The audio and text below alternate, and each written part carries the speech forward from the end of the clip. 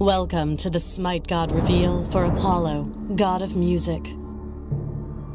There are none without admiration for Apollo, god of music. He is brash, cavalier, and dauntless, with the power to bring hope to the hopeless and change the course of battle with a single arrow. Voices of soldiers, mothers, kings, and emperors, even gods, rise in glorious melody in honor of him, and he, basking in their adoration, shines victoriously.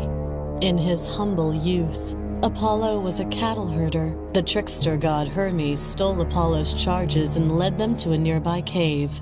From the shell of a tortoise and the body of a cow, he crafted the first lyre. Apollo finally caught up with Hermes, saw the instrument, and simply had to have it trading the rest of his cattle to Hermes for it. Years later, Hermes would send his son, Pan, to challenge Apollo in a contest of musical prowess.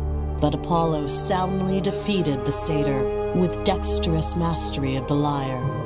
As Apollo grew into his rightful place among the gods, his victories mounted, and the songs of the faithful were sung more and more in his name.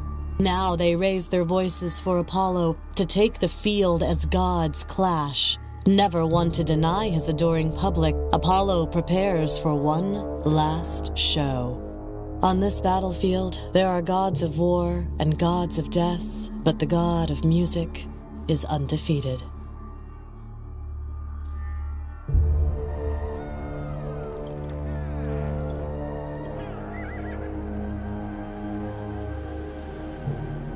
In Smite, Apollo mesmerizes his opponents as a ranged physical assassin.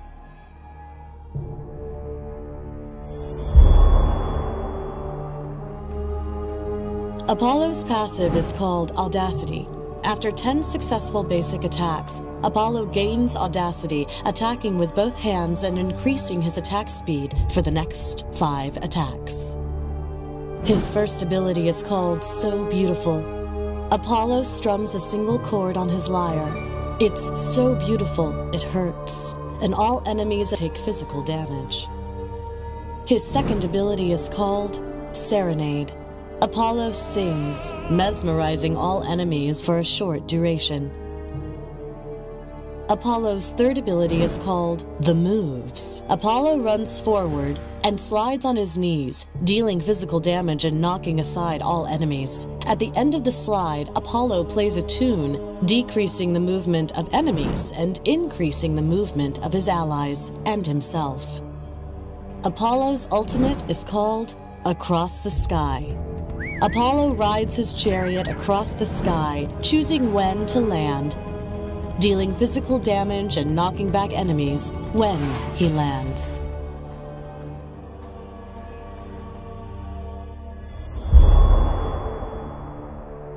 In this fight, Odin and Apollo have the enemy pushed back to their tower. Artemis goes to initiate against Apollo as his beads and amulet come off of cooldown, allowing him to gain immunity to start the fight. Using his abilities keeps the enemy disoriented inside of Odin's ring, and an ultimate across the sky allows Apollo to escape and circle right back around to the fight, securing both kills.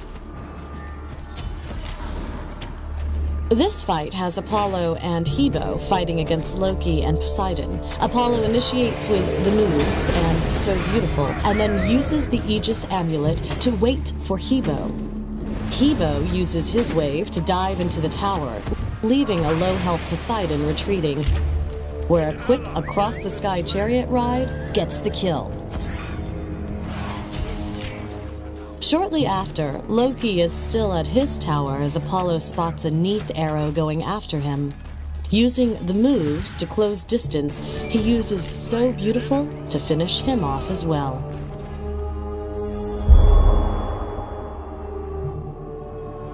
As the god of music, Apollo relies on delivering deadly on-tune attacks. Starting him off with So Beautiful is an excellent idea for its early game damage capability. Next, picking up the moves is perfect for its escape and initiation potential.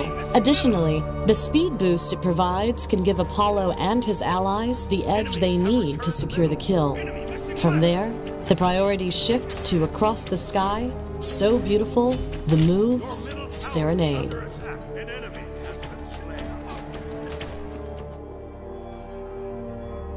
Also, be sure to check out the excellent new Feaster Bunny Bakasura skin.